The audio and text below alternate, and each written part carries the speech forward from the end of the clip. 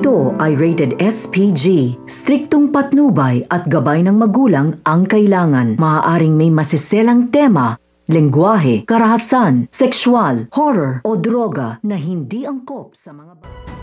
Dahil napagutusan nga nito ni Ramon itong ang si sa Severino, napuntahan nga mga magulang nga nito nila Mokang at alamin kung nasaan ang mga anak nga nito.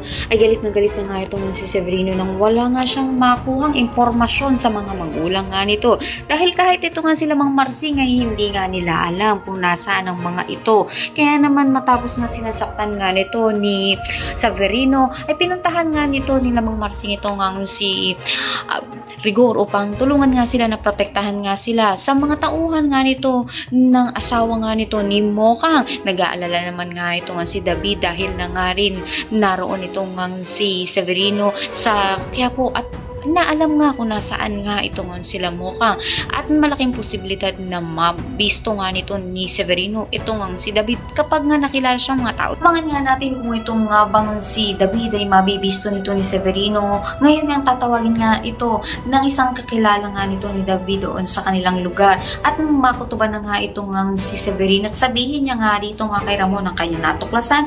Ang lahat na yan abangan natin. Maraming salamat sa inyo.